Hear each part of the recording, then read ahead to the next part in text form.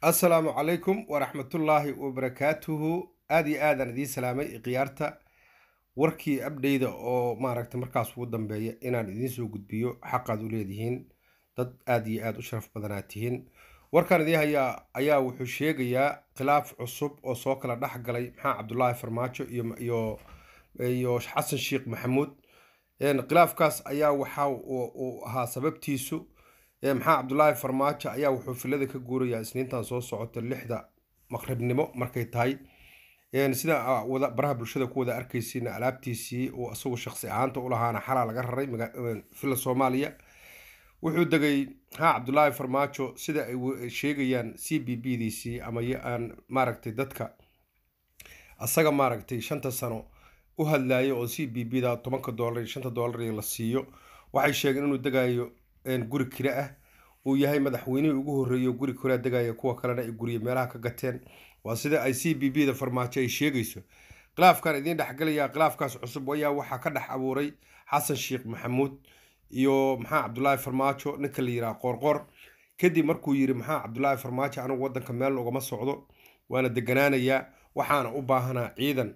Aniga aan isku aamini karo ciidankana waa kala naqaanaa waxaan u baahanahay farxaan qaroole iyo boqol askari oo iwaardiyanayso ammaankayga sugaysa.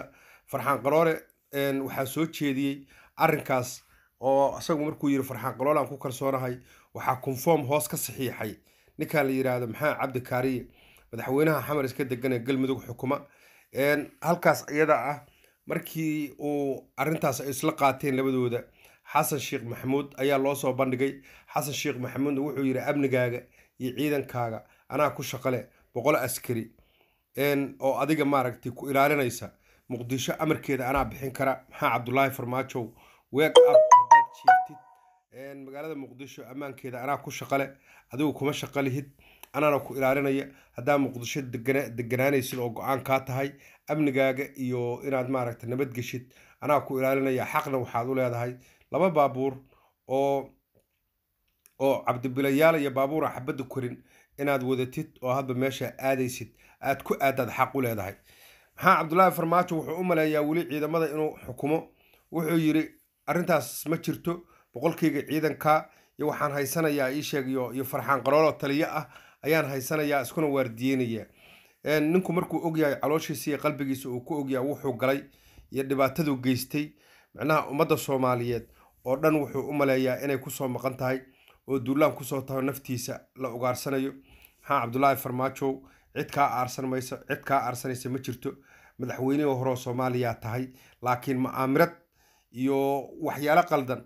Haddaad la timaadid xeer waxaa kuu furan buug adigu aa furto waxaa kuu furan in madaxweynaha la xabadayn karo xabad lagu dhufan karo la dili karo weliba.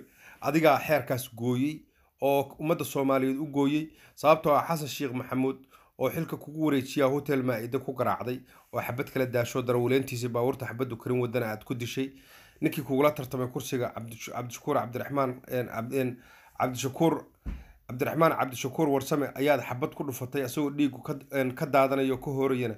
Xabsi aad geliso maxkamadiina subaxdii dambe ay ku weydiisay wax dembiye adigu xeerkaas adaa dhigay. Ummadda soomaaliyeedna adaa hadda kahor u soo jeexay. Sidaas awgeed haddii aad isku daydo inaad maaragtay ciidamada soomaaliyeed iyo xukunka xukumadda cusub oo uu madaxda ka yahay. Ninkaale xasan sheekh maxamuud aad soo farageshitid waxaa laga yaabaa inaa waxaa adigu samaysay wax ka daran kugu dhacaan. Waxaa laga yaabaa iga raalli ahaada waxaa laga yaabaa inaa adigu waxaa samaysay wax ka daran kugu dhacaan in inta lagu yimaado lagula xaaro oo si dimuqraadiya lagula xaalano way dhici kartaa. Marka warkii oo isku soo duuduuban khilaafkaas cusub ayaa magaalada muqdisho ka jira oo farxaan qaroole ninkale qoorqoor uu ka dhex abuuray xasan sheekh maxamuud madaxweynaha waddanka hadda xukuma iyo madaxweynihii hore cabdulahi maxaa cabdulaahi farmaajo oo filadii iskaga guuray.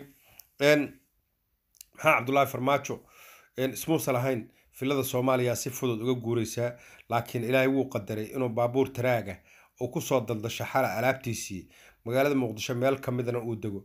Guriga uu hadda degaya maxaa cabdulaahi farmaajo waa gurigii qoorqoor deganaa? Intii hadda doorashada lagu jiray c b b du laakiin waxay ku andacoonaysaa oo ay sheegaysaa c b b da farmaajoan u aqaanaa. Waxa farmaajo garab taagan oo dhan nuuc ay yihiin. Anugu c b b aan u aqaanaa. Waxay ku andacoonayaan in gurigaas uu u kiraysnaa olo-olaha maxamed cabdulaahi farmaajo qoorqoorna uu ahaa wiilka maxaa cabdulaahi farmaajo. Annaku waa ognahay qoorqoor inuu yahay dhagarqabo balaayo oo maaragtay ummadda soomaaliyeed ku sirmatay dadka uu ka dhashana ay ku sirmeen isagu maaragtay hagardaamo xun uu waday oo qorsho xooglana ay isla wadeen. Halka maxaa xuseen rooble uu ka diiday in ummadda soomaaliyeed la faramarooqsado iyakoo weliba isku hayba maxaa cabdulaahi ninkan la yidhaahdo qoorqoor iyo maxaa xuseen rooble qorqoor wuu ka yeela wuuna ka aqbala maxaa cabdulaahi farmaajo meel walbaba in loo qabto awooddiisana ay ka shaqayso wuu aqbalay doorashadii maalin dhoweed ayaadna ka dareemaysay. Nin walbaba ninkiisa markuu u hiiliyey oo u istaagay qoorqoor wuxuu u hiilinayay dhisayay maxaa cabdulaahi farmaajo.